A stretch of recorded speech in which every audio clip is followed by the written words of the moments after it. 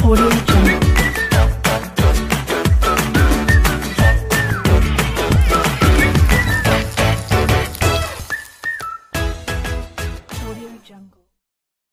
இந்த வீடியோவை பார்க்குறதுக்கு முன்னாடி இந்த சேனலை இது வரைக்கும் நீங்கள் சப்ஸ்கிரைப் பண்ணலன்னா சப்ஸ்கிரைப் பண்ணுங்கள் கூடவே இருக்கிற பெல் சிம்பிளையும் மறக்காமல் கிளிக் பண்ணுங்கள்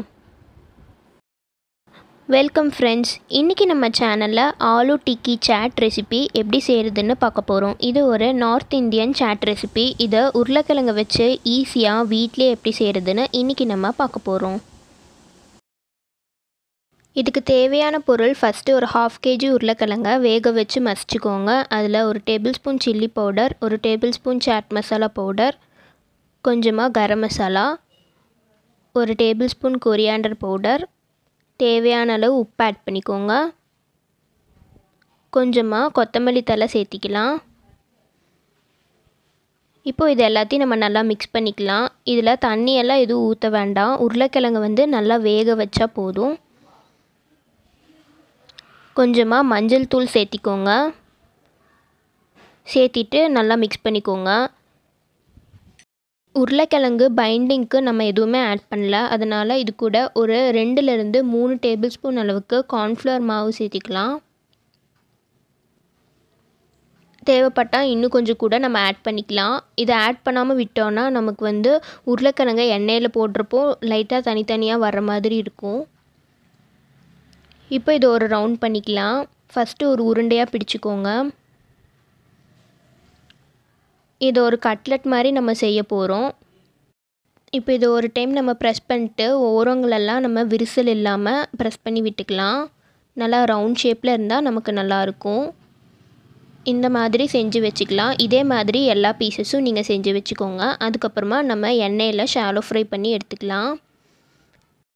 பேனில் வந்து ஒரு எட்டுலேருந்து பத்து ஸ்பூன் அளவுக்கு எண்ணெய் ஊற்றினாலே நமக்கு போதும். நாங்கள் வந்து இதில் கொஞ்சம் அதிகமாக தான் ஊற்றிருக்கோம் இதை விட நீங்கள் கொஞ்சம் கம்மியாகவே ஊற்றிக்கோங்க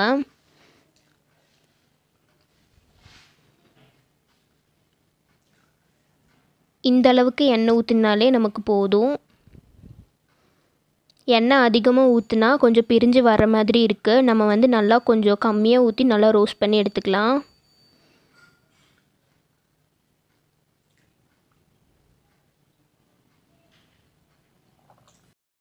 இது வந்து கொஞ்சம் ரோஸ்ட் ஆனதுக்கப்புறம் தான் நம்ம திருப்பி போடணும். ஒரு சைடு இந்த மாதிரி நல்லா கோல்டன் ப்ரௌன் ஆனதுக்கப்புறம் திருப்பி போடுங்க. அப்போ தான் வந்து ரெண்டு சைடுமே நல்லா கோல்டன் ப்ரௌனாக ஃப்ரை ஆகும். சாப்பிட்றதுக்கும் நல்லாயிருக்கும் இல்லைனா உள்ளே வந்து நமக்கு வேகாத மாதிரி இருக்கும். அதனால் நல்லா கோல்டன் ப்ரௌனாக ஃப்ரை பண்ணி நம்ம எடுத்துக்கலாம்.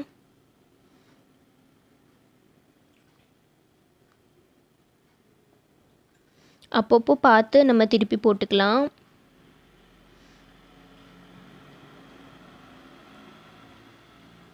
இப்போ பார்த்தீங்கன்னா எல்லாமே ஒரு ரெண்டு சைடும் நல்லா ரோஸ்ட் ஆகி வந்துட்டுருக்கு.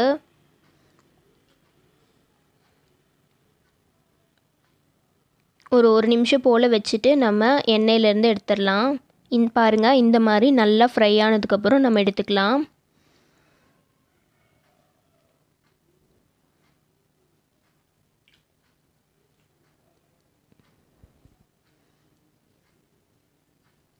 இப்போது நம்ம ஆலு டிக்கி எல்லாம் நல்லா ரெடி ஆயிடுச்சு இதுக்கப்புறமா நம்ம இதுக்கு மேலே என்னென்ன போட போகிறோம் அப்படின்றத நம்ம பார்க்கலாம். இதே மாதிரி எல்லாமே ஃப்ரை பண்ணி எடுத்து வச்சுக்கோங்க. ஃபஸ்ட்டு இதுக்கு மேலே நம்ம தயிர் ஊற்ற போகிறோம் அதில் கொஞ்சம் உப்பும் கொஞ்சம் சுகர் ஆட் பண்ணிக்கோங்க. ஃப்ளேவர் நல்லாயிருக்கும் இதுக்கு வந்து நல்லா கெட்டி தயிராக இருந்தால் தான் நல்லாயிருக்கும் சாப்பிட்றதுக்கு. நீங்கள் கெட்டி தயிராக வாங்கி வச்சுக்கோங்க.